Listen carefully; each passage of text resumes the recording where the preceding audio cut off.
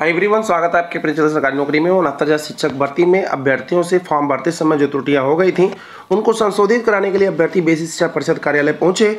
वहाँ उनकी जब बात नहीं सुनी गई तो वहीं धरना बैठ गए, जिसको देखते हुए एक जिम्मेदार ने बुलाया और उनकी बातों को सुना और अभ्यर्थियों को ये दिलासा दिया कि आपकी बात ऊपर तक पहुँचाई जाएगी, लेकिन कब पहुँचाई जाएगी? भाई, आज तीन तारीख है, सबसे पहले तीन तारीख की काउंसलिंग वाले सभी अभ्यर्थियों को एक बार बेस्ट ऑफ़ लक कांग्रेचुलेसन आप लोग जल्दी ही पाँच तारीख को बस दो दिन में अध्यापक की नियुक्ति पत्र आप लोग पा जाएँगे।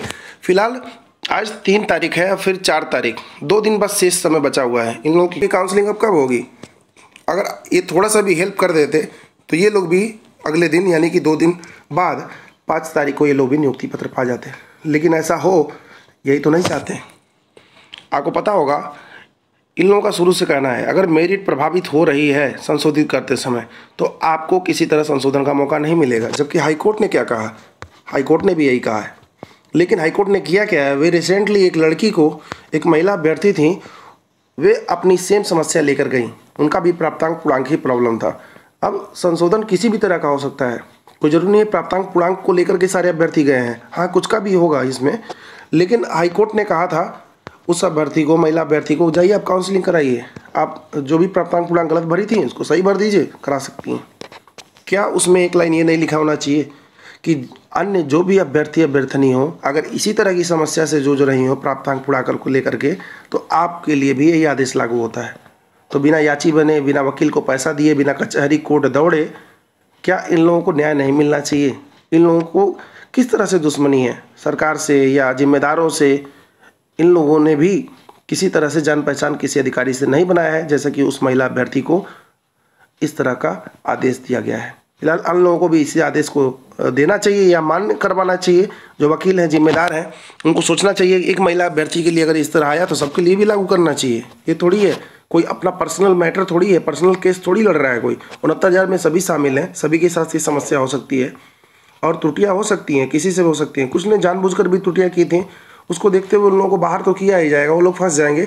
लेकिन जो लोग वैलिड हैं, जो लोग एकदम जेनविन हैं, उनसे गलतियाँ हुई हैं, वो लोग बच जाएँगे, उनकी नियुक्ति ज़रूर होगी। और इन लोगों को दिलासा बस दिया गया है कि किसी तरह से तीन चार, तीन तारीख को, चार तारीख को किसी तरह काउंसलिंग बीते, पाँच तारीख को नियुक्ति पत्र मिल जाएगा, उसके बाद देखा जाएगा इनका क्या करना है। ऐसे कर करके अभ्यर्थी इनको, अधिकारी इनको भगा देते हैं। फ़िलहाल फर्जी शिक्षकों के खिलाफ लगातार कोई न कोई कंप्लेन कर रहा है अथवा कहीं ना कहीं उनसे मिस हो जा रहा है, कुछ ना कुछ ऐसा चीज़ जिससे पकड़े जा रहे हैं। भाई फ्रॉड किए हैं तो कहीं ना कहीं तो आपका मामला खुलेगा ही, चाहे जितने साल बाद खुले। आपको पता होगा कि लगभग 20 ज़िले ऐसे हैं जिसमें बी ने एक लेटर जारी किया है। एसटीएफ की ओर से लगभग छिहत्तर संदिग्ध अध्यापकों को चिन्हित किया गया है। कहा गया है कि या तो इनके डॉक्यूमेंट्स गड़बड़ हैं, या तो एक गलत तरीके से शामिल हुए हैं। तो अगर जिनके डॉक्यूमेंट्स गड़बड़ होंगे, वो तो बाहर जाएँगे। गलत तरीके से शामिल होने का अगर कोई प्रमाण मिलता है, वो लोग भी बाहर होंगे। अगर इनके बीच का कोई होगा तो नहीं बाहर होगा, भले ही वो फ्रॉड से आया है। मतलब अगर उसका कोई प्रूफ नहीं है कि कैसे फ्रॉड से आया है, और उसके डॉक्यूमेंट सही हैं, तब तो उसकी बल्ले बल्ले है।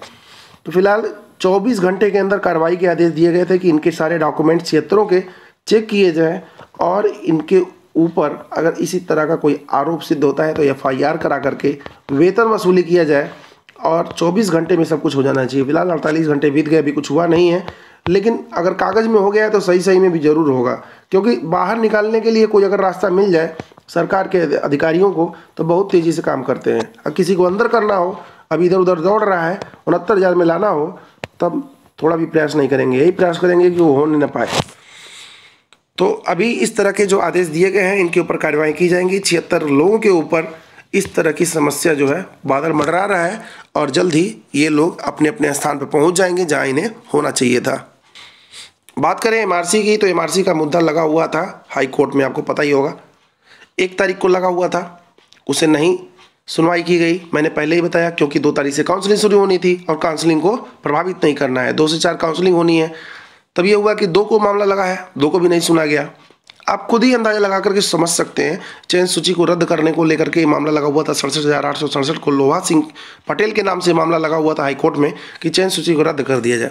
अब चयन सूची रद्द होगी तो आप समझ सकते हैं क्या हो सकता है। इकतीस हज़ार छः सौ इकसठ और छत्तीस हज़ार पाँच सौ नब्बे और थर्ड काउंसलिंग सबकी सब गायब हो जाएगी। तो सरकार तो ऐसा करेगी नहीं, क्योंकि किसी तरह से नियुक्ति पत्र दिया है, बिना रोक लगे कहीं बीच में अभी। इधर जल्दी जितने लोगों को नियुक्ति पत्र मिला है। तो दो तारीख का मामला बीत गया। आज तीन तारीख है। प्रयास ये किया जाएगा तीन तारीख को भी ना सुना जाए। और एक ऐसा डेट डाल देंगे उठा करके जो पाँच दिसंबर के बाद हो। मान लेते हैं मजबूरी में किसी तरह से कोई षडयंत्र करके अगर मामले की सुनवाई कर भी लेते हैं तो ऐसा कुछ करेंगे, कहेंगे एफिडेविट करो, एक हफ़्ते में जारी करो। सरकार तीन हफ़्ते में जवाब दे। अब तीन हफ़्ते में जवाब दे, पाँच तारीख बीती गया चाहे जब जवाब दे। छः तारीख के बाद, पाँच तारीख के बाद कभी भी दे दे। जब नियुक्ति पत्र मिल जाएगा तो फिर कोई समस्या नहीं है। सारी समस्याएँ नियुक्ति पत्र में ही हैं। नियुक्ति पत्र मिला, पाँच तारीख जैसे ही आपका बीतेगा, आप नियुक्ति पत्र पाएँगे। आप जान लीजिए एकदम टेंशन फ्री हैं। कोई टेंशन लेने की ज़रूरत नहीं है। तो सरकार के कर्मचारी भी यही चाहते हैं, किसी तरह मामले की सुनवाई अभी इधर ना होने पाए। तो चार तारीख किसी तरह बिता देंगे, पाँच तारीख को नियुक्ति पत्र मिल जाएगा। और रही बात थर्ड काउंसलिंग के अभ्यर्थियों के लिए तो अपनी तैयारी में लगे रहें, सेकेंड काउंसलिंग के हो रहे हर एक बिंदु पर नज़र रखें। और बात रही अगर जनरल ओबीसी की अगर हम बात करें जन थर्ड काउंसलिंग के अभ्यर्थियों के लिए जो लोग प्रतीक्षित हैं, जनरल ओबीसी तो इन लोगों का कटाप एक से डेढ़ नंबर अवश्य गिरेगा। आप बिल्कुल देखते रहिएगा। और ये कटाप कैसे गिरता है? भाई डिस्ट्रिक्ट वाइज गिरता है। ये कोई नहीं है कि यही कटाप होगा, हर जगह होगा। क्योंकि किसी डिस्ट्रिक्ट में कम सीट होगी, कम सीट होगी पॉइंट में जाएगा। लेकिन जाएगा वो लगभग एक के आसपास ही। आप ये ध्यान रखिएगा ज़रूर। और आप एक, मैंने कुशीनगर डिस्ट्रिक्ट का एक मैंने न्यूज़पेपर का कटिंग आपको दिखाया था। आप उस डेट में आप ढूंढ भी सकते हैं। कल मैंने वीडियो डाला था। उसमें दिखाया था कि मेरिट जो है कितनी कम गई है। ठीक है? इकसठ पॉइंट समथिंग तो साठ के आसपास जितने लोग होंगे, वे लोग एकदम निश्चिंत रहे और वाले काफ़ी पूछ रहे थे एससी वाले जनरल ओबीसी वालों को तो मैंने बता ही दिया था, एक से डेढ़ नंबर अगर आपका कम है, पिछले वाले कट ऑफ़ से तो आप नियुक्ति पत्र की तरफ़ बढ़ सकते हैं। एससी वालों के लिए मैंने बताया था कि जो सीट मैंने कुशीनगर का दिखाया था गुणांक उसमें इकसठ पॉइंट समथिंग था, साठ के आसपास था, या सत्तर रहा होगा। तो जितने लोग इसमें हैं एससी में तो उनका भी कटाप लगभग साठ के आसपास ज़रूर जाएगा। एक से डेढ़ नंबर इन लोगों का भी गिरेगा गिरेगा कहीं ना कहीं। तो साठ के आसपास जितने लोग होंगे, या साठ से ऊपर के लोग होंगे गुणांक में, ऐसे एससी कैंडिडेट का चयन हो जाएगा। मतलब उन लोगों को काउंसलिंग का मौका मिल सकता है। डिपेंड करता है सीट पर। अगर आपके डिस्ट्रिक्ट में सीट ज़्यादा है तो कट ऑफ़ और कम जाएगा। अगर इस, ऐसा भी हो सकता है, सीतापुर में कई कई लोग कह रहे हैं कि उनसठ भी गया है, लेकिन अब सत्यता क्या है, वहाँ के लोग ही बताएँगे। अगर कोई सीतापुर का हो, अगर वीडियो देख रहा हो तो आप बताएँ, क्या उनसठ वहाँ पे गया था उनसठ के नीचे भी गया था? तो जा भी सकता है, कोई बड़ी बात नहीं है। कटाप संतावन भी जा सकता है। ये भी आप सोचिए, अगर सीट कहीं ज़्यादा है तो संतावन भी जा सकता है।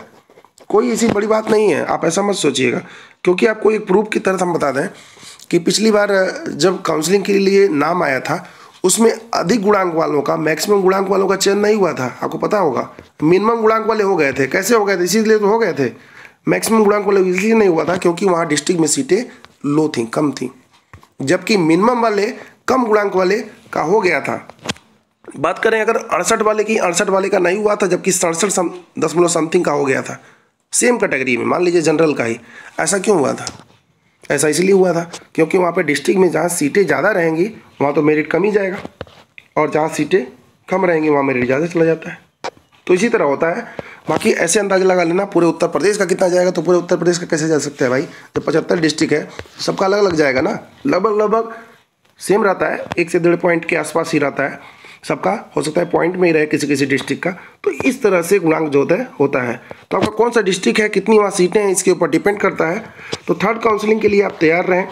चाहे आप जनरल के कैंडिडेट हों एससी के हों ओबीसी के हों, क्योंकि एसटी तो कैंडिडेट बचे ही नहीं हैं। तो एस की जो सीटें हैं ग्यारह सौ लगभग तैंतीस सीटें, वो लोग मांग कर रहे हैं एससी वाले, जल्द से जल्द हमारे में जोड़ा जाए एससी में जोड़ा जाए। और एससी में आपको जोड़ा जाएगा तो आपको पता ही है ग्यारह सौ तैंतीस लोगों का तुरंत कल्याण हो जाएगा। तुरंत ही इन लोगों का नाम जो है थर्ड काउंसलिंग के लिए लिस्टेड हो जाएगा। तो फ़िलहाल अभी के लिए बस इतना ही। धन्यवाद।